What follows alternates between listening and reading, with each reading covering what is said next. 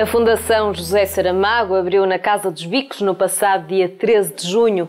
Este edifício quinhentista, localizado na Rua dos Bacalhoeiros, em Lisboa, vai albergar a sede da instituição fundada pelo Nobel da Literatura Português durante os próximos seis anos. Na frente da casa há uma oliveira onde foram depositadas as cinzas do escritor. Ao lado, um banco para leitura e próximo, uma placa com a frase que encerra a obra Memorial do Convento.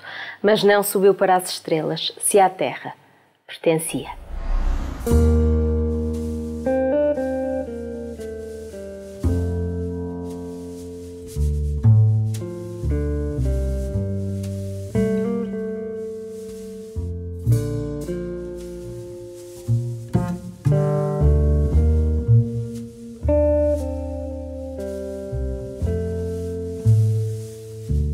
José Saramago decía que que cualquier escritor del mundo puede aspirar en algún momento de su vida a tener un premio Nobel, es una posibilidad. Pero la Casa de los Vicos er, era algo más que un sueño. No es de José Saramago, el espíritu de José Saramago habita esta casa, es una casa de todos los lisboetas, de los portugueses.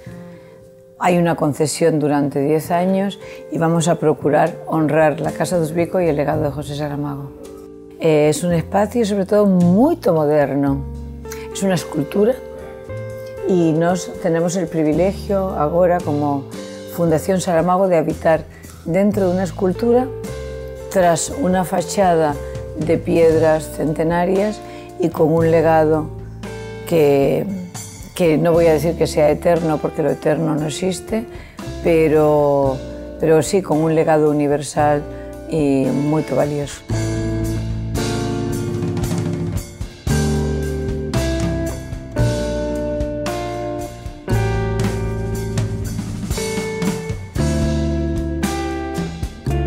Pero si la Fundación José Saramago hubiera nacido para defender al premio Nobel de la lusofonía, sería un objetivo muy mezquino, muy fútil.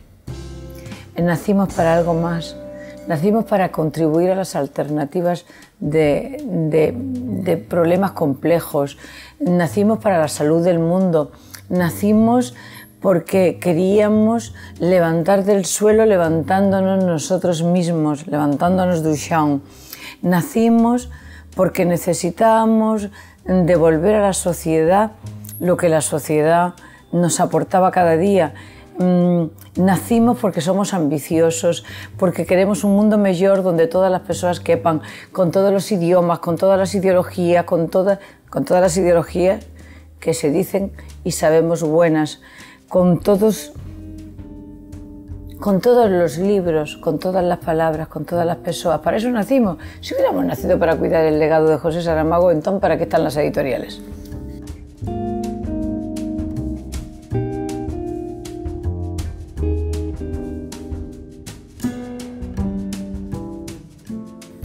Los visitantes van a encontrar en la Casa de los Vicos cuatro andares donde van a encontrar cosas distintas y diversas.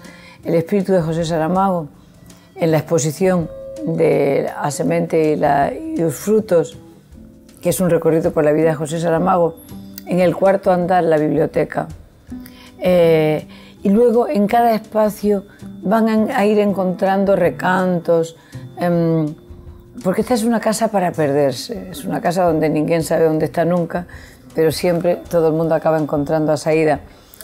Y van a encontrar tesoros, objetos, el primer escritorio de José Saramago, em, van a encontrarse con lo mejor de la literatura contemporánea, con mensaje y luego en el cuarto andar será donde se debatan ideas y alternativas para tratar de salir de esta crisis que nos asfixia y que nos tiene absolutamente atosigados.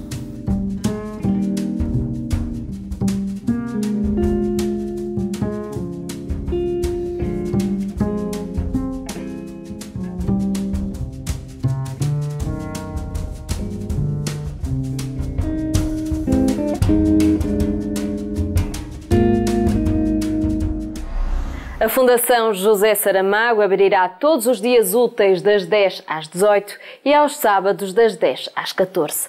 Não deixe de visitar. Até amanhã.